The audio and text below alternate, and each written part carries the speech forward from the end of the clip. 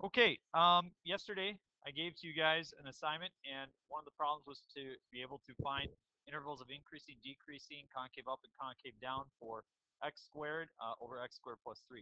Interesting thing about this graph is uh, it kind of looks like this. It actually has a horizontal asymptote of 1.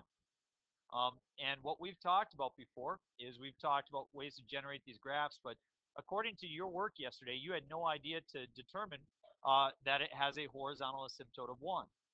Well, we will be able to figure that out in the next section. And we need to be able to do some work, and it involves limits. So, so you have your eyes right here. You tell me, as x approaches 0, what does the output of this function approach? What's the limit? 0. As x approaches negative infinity, what does the function approach? 1. As x approaches positive infinity, what does uh, the function approach? 1. So what we refer to as end behavior as approaches positive infinity and negative infinity is important. Furthermore, um, it's not that challenging to find, but this is part of what made calculus possible. Is this idea of calculating. Again, the word calculus means to calculate. Calculate what? The infinitesimal, the infinitely small and the infinitely large. That's what we want to try to be able to figure out. So today we're going to do something that's entirely new to you, which is we're going to find limits at infinity. Limit as x goes to infinity. Something you don't know how to do yet. These serve often as a horizontal asymptote or a slant asymptote or things of that nature. So we start with this. Limit as x approaches a of f of x. Usually in this situation, what you do is you just simply plug in a. So if you add the limit as x goes to 1 of uh, 2x plus 3, you would get 5. No big deal, right? But 1 is a number on the number line. Infinity is not a number on the number line. It, you might want to plug in infinity. Well, that, that's difficult because what is its value? It's kind of tough to say. So if you think about a function like x to the n, say we have x squared. Well, that graph looks like a parabola. Uh, say you have x to the third. That graph looks like cubic.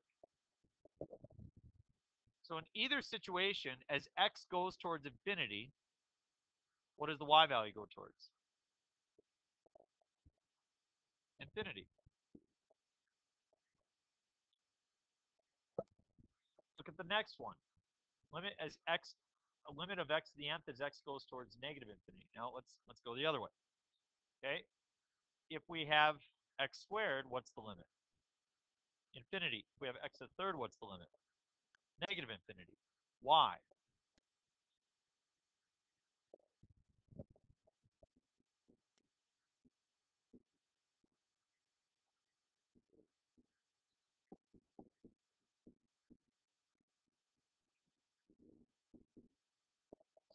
Then it was even, went to positive infinity. Then it was uh, odd, went to negative infinity. Because a negative number to an odd power gives you a negative number. And a uh, negative number to an even power gives you a positive. Okay. Suppose we had um, a exponent in the denominator. Okay.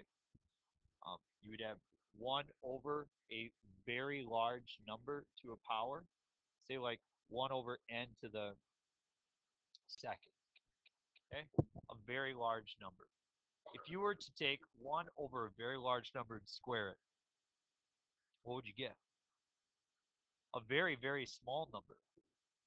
And as n gets considerably larger, the output gets considerably smaller. So it's approaching zero something infinitely small.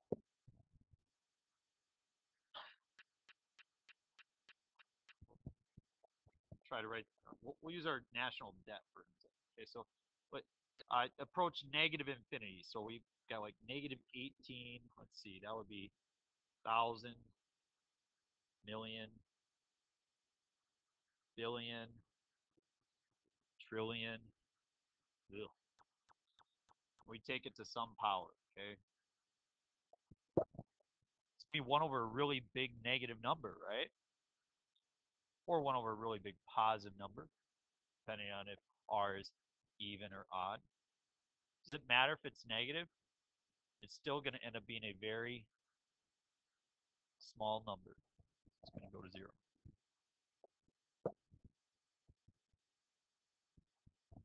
A lot of zeros. Do you think we'll hit a quadrillion someday? I would agree, hopefully not. okay, uh, sine of x, that's an interesting one. Uh, what does the graph of sine of x look like?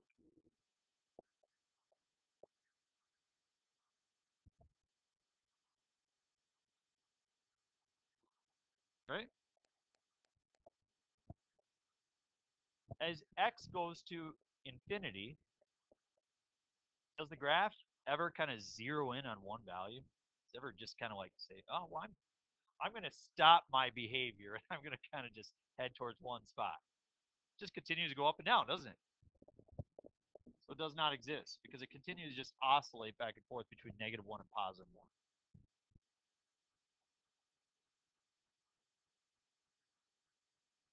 Not to be confused with other limits that we found. Limit as x goes to 0 of sine of x over x. Do you remember what that was? 1. We proved it using the sandwich theorem. I'm going to show you two more limits and see if you can get these straight. Don't want to confuse you. Hopefully you can see the difference between them.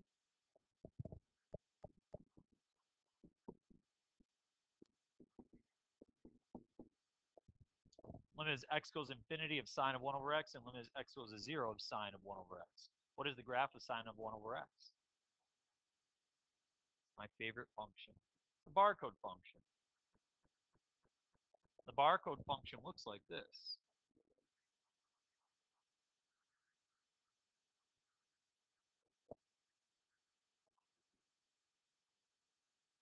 Something like that, okay?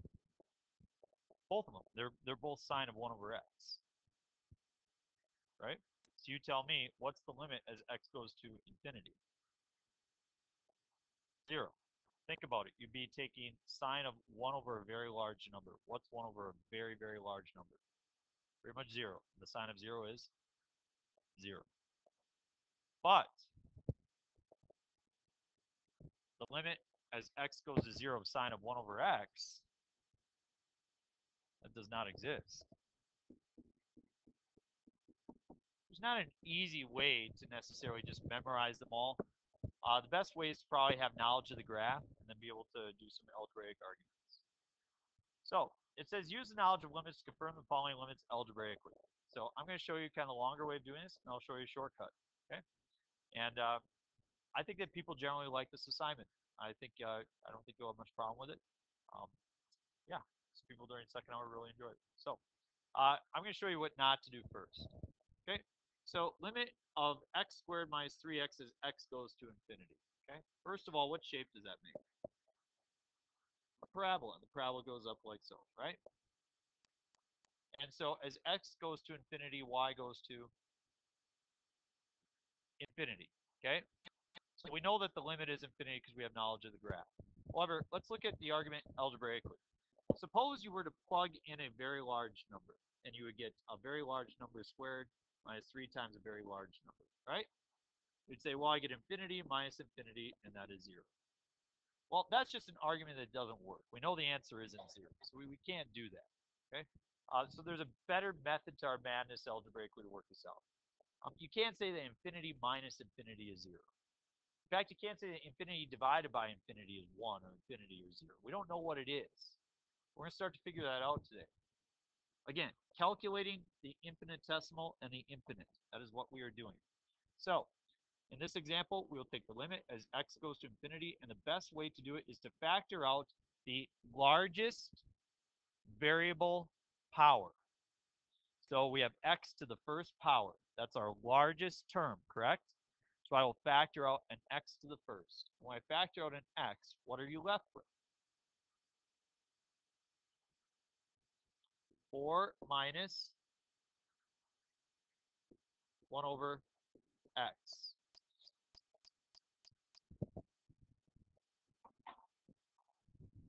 1 over x. As x goes to infinity, we will have a very large number. I will use a capital N to represent a very large number times 4 minus 1 over a very large number. According to the properties we talked about above, what is 1 over a very large number going to go to? It's going to go to 0. So you can see that in this situation, we end up with 4 times a very large number. So it will go to infinity.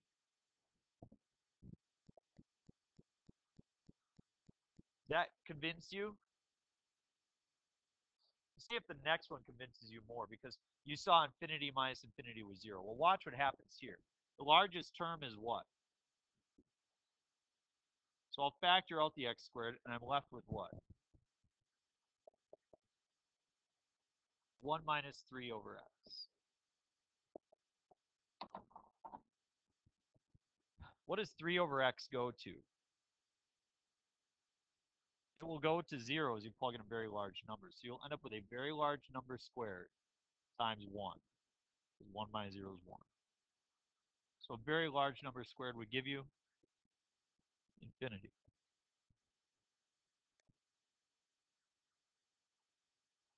What's different about the next one? Negative infinity. Same approach. Limit as x goes to negative infinity of, take out an x squared. I'm left with 1 minus 10 over x. 10 over x goes to 0. So you're left with a very large negative number. Notice you're not plugging in positive n. You have to plug in a negative n because it's a very large negative number. And what are you doing to that very large negative number? You're squaring it times 1. So that's, what is a very large negative number squared? A very large positive number, which will give you infinity. And just think, it's a graph. It's a parabola. You know already that both sides go to infinity. Yes. Now, I've received a lot of, uh, I guess, frustrations from people over the years about that. All I can tell you is that um, I can generally look at it. For example, this next one, I can look at it and tell us that the that the limit is two. Okay. However, and I'll show you how to look at these and know the limit ahead of time. You've already seen by looking at them graphically, right? But without a doubt, when I got into college, I figured, okay, we've all done some of this stuff before. Obviously, we're not going to have to show it algebraically. But without a doubt, I was always asked by my, by my professors, whether that was calculus, whether it was analysis, whatever course it was, uh, the um, algebraic uh, uh, model needed to be shown. So, and um, we are going to do some of this later on. This is going to actually help us add up an infinite number of rectangles at some point, which is pretty cool. Add up the area of an infinite number of rectangles.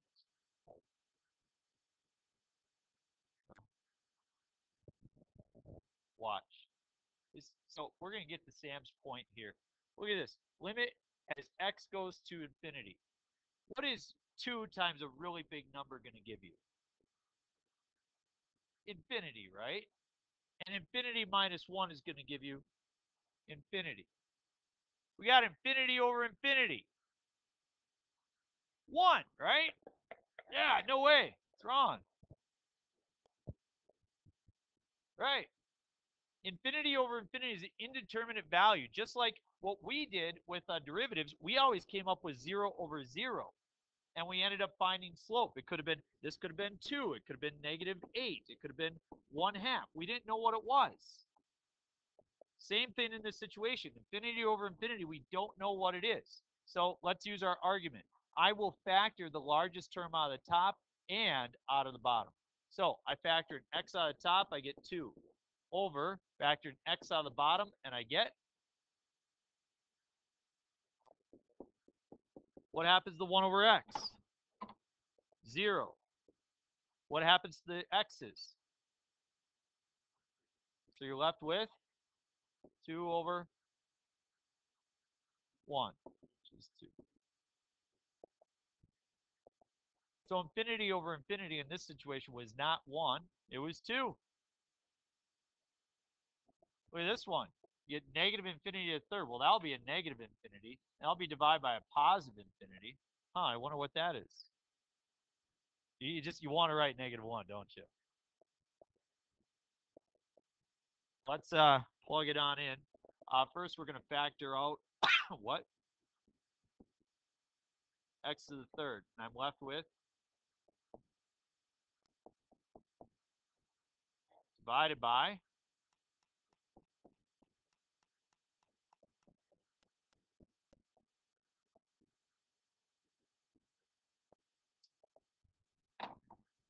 Okay, what's going to happen to the 1 over x to the third and the 3 over x squared and the 2 over x?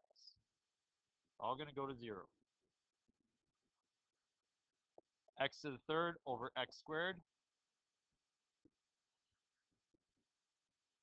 So I get an x. So I have a 4x over 1, right? So what am I plugging in here? So a negative n. So I have 4 times a very large negative number. And that's going to bring me to. So in this situation, a negative infinity divided by a positive infinity produced a negative infinity. Before, infinity divided by infinity produced 2. It, there's no way of knowing. You have to do the work. The next one. Uh, I can't take anything out of the top. So the limit is x goes to negative infinity of, what do you take out of the bottom? I get 1 minus 3 over x plus 7 over x squared. What happens on the bottom?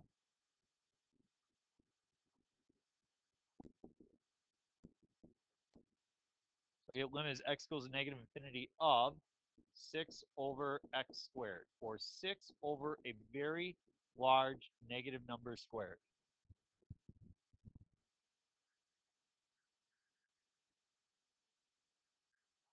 What's 6 over very large negative number squared? 0. And, it, and if you can't tell, just make a really big negative number, folks. I'll choose my favorite. Let's see. Thousand, million, billion. Okay, there we go. All right, there you go. Look at that. What would you get? I mean, that's that's six over stupidly large number squared. I'm going to get zero, okay? You can even type it on your calculator. You can see how small it is. Yeah? Okay, you try next three on your own. Flip it over. You do next three on your own.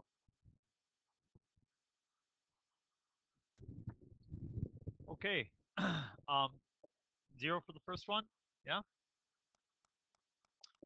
Uh, for the second one, infinity. The third one, did you get a positive infinity? Uh, a couple things to keep in mind. Number one, when you have 0 minus 6, you do get a negative 6. And you're plugging in a negative infinity, so negative n. So it comes out to be positive. Yeah? Question?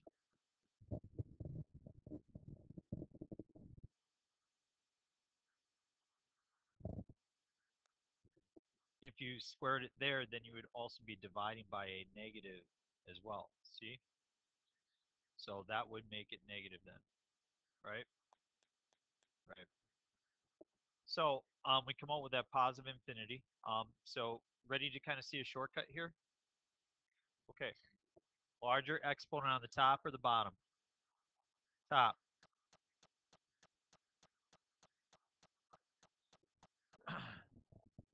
Larger exponent on the top or bottom.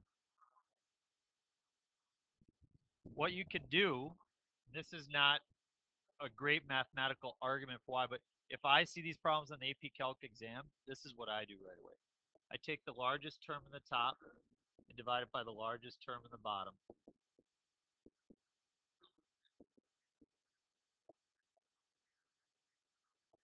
the largest term in the top.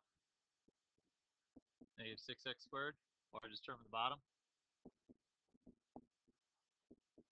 So we take negative 6 times negative n, you get infinity. Uh, let's back up to the back page. You can see more examples like this, how it works out. Um, look at 2x over x minus 1. I take a 2x and divide it over what's the largest term at the bottom, and I get 2.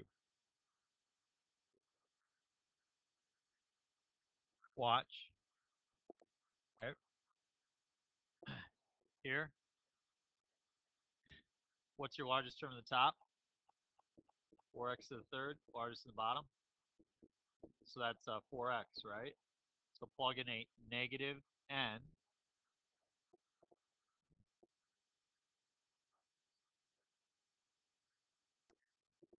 You can't do it on your homework, you can't do it on the test. But, okay, I've tried to explain this. Again, you, you, you need to show the algebraic piece. That's what you'd be expected to do later on. Okay, so I just for this unit, after we get done with this unit, you can do it however you want. We're going to come back to these things. If you just want to show that you get, you know, the largest over the largest and, you know, do from it, that's fine. But for this test, this homework, you, you need to show that you know how to do it. And again, um, I reference back to, I just remember when I was in college, I asked the same thing. Um, I was expected, when we were taught the skill, I was expected to show that I knew how to do it on the test. Okay. So, but it's a great way to verify your answers ahead of time. Okay, so this one, as you can see, does not have a, it's not a rational expression, is it? This one is. So we'll, we'll kind of try my method here and here. But for this one right here, I'm going to factor out a x squared. And I get 5 over x squared minus 2 over x minus 3. What do these go to? You get a negative 3 times a negative n quantity squared. What do you get when you square negative n? Uh, so negative 3 times n squared will be negative infinity. The next one is rational. Okay, it's a fraction. What's the largest term in the top? What's the largest term in the bottom? Negative 6x. We divide those, what do you get? Yep, negative 2 thirds. So I'm guessing that the limit of this is negative 2 thirds. The AP exam will not ask that you write it out because it will be a multiple choice question, and right away you you just circle negative two thirds. You you know, color and see whatever the answer is. But here, just for this assignment and this test, make sure that you factor out what from the top, and you get four minus one over x divided by x times 5 over x minus 6. What goes away? The x's, 1 over x, 5 over x, you get?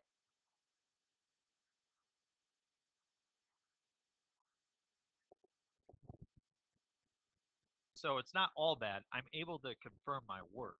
Okay, so it's helpful to see that ahead of time and to know.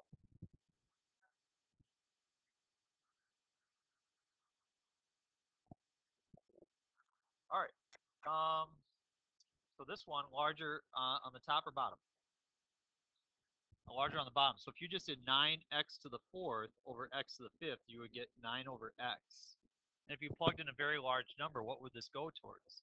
It would go towards zero. But sometimes when people look at this, they're like, oh no, it's a billion. Wow. Yeah. Well, a billion appears to be a large number, right? Like if I were to ask you the number of sit-ups you've done, somebody said, I've done a billion. Wow, that seems like a lot. How many Twinkies have you eaten? A billion. Wow, that's a lot. But if I ask you how does a billion uh, compare to the number of uh, grains of sand on, on the shore in the world, a billion isn't very much. If I ask you how does a billion compare to national debt, it's not very much, is it? It's not. it's just it's not that much. And so, you know, a billion is relative. So how does a billion compare to infinity? A billion is infinitely small compared to infinity. So when we plug in a very large number, when we take it to the fourth power, this this one billion really has no bearing on the problem at all, does it? It has nothing. So let's factor out what from the top.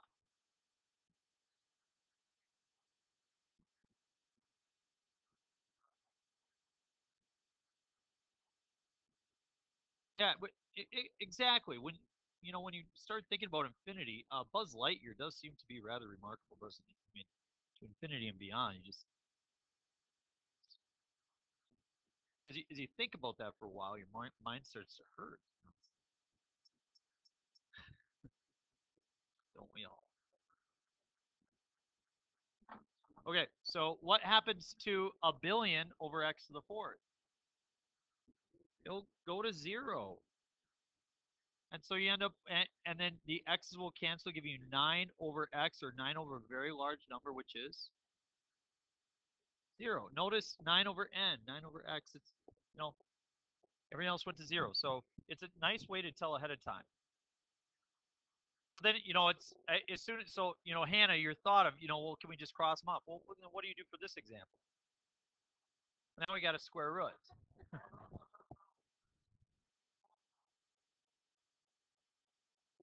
now you wonder why I didn't take firefighting serious. Uh, what do I? What's the biggest term underneath the square root? An x squared. So I'll factor out the x squared. I'll be left with 5 uh, plus 2 over x squared. And on the bottom, what do I factor out? An x. So I'm left with 7 plus 1 over x. Okay, can I bring that x squared out front?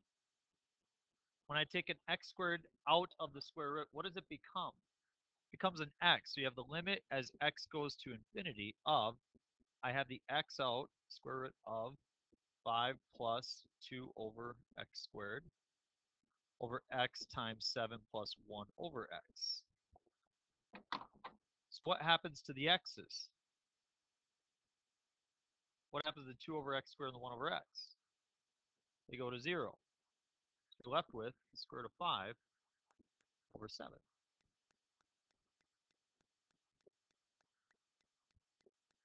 It's nice, isn't it? Yeah, you know, if you look at this ahead of time, you, you, know, you can kind of say, well, square root of 5x squared over 7x, um, you know, you would have then that would be an x root of 5 over 7x, and those would cancel. You know, so you could, but eh, notice this is not mathematically correct at all, is it? I mean, you know, that's it's really voodoo math, but it's like the one time where voodoo math seems to kind of work out in our favor. But saying that that's equal to that, I mean, we're just we're working with infinity, and it's a helpful way to think through it. So, okay, you try next one on your own, and we're gonna skip this one right here. Okay. No, no, no, no, no, no, no, no, no, no, no. If you don't have your notes out right now, uh, why don't you take them out and uh, participate with us so you can improve your learning.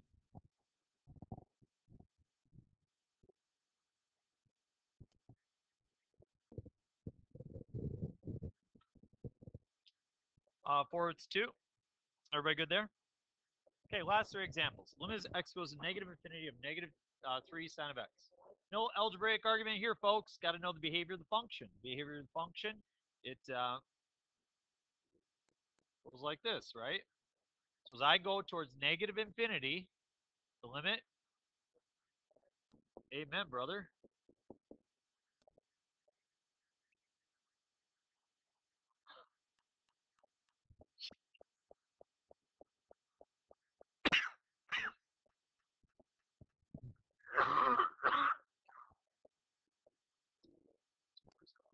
All right.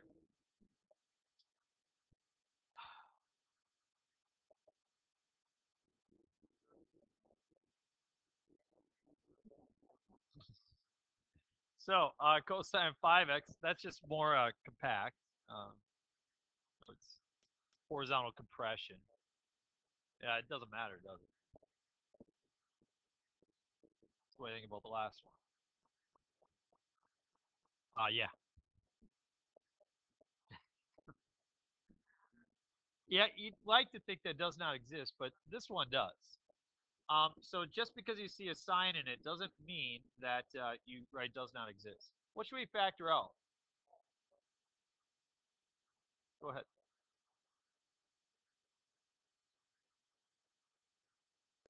Um, so if you had sine of x as x approaches 0, what would you get? If you had cosine of x, it would be 1 because the sine of 0 is 0 and the sine of or the cosine of 0 is 1. Okay. Now, we factor out a x, and I get sine of x plus 3. All right, let's try to make up an argument for this. What is the largest value that sine of x could be? So let's suppose that at most sine of x was 1. You would end up with 1 plus 3 is 4 times x, or 4 times a very large number, which would be infinity.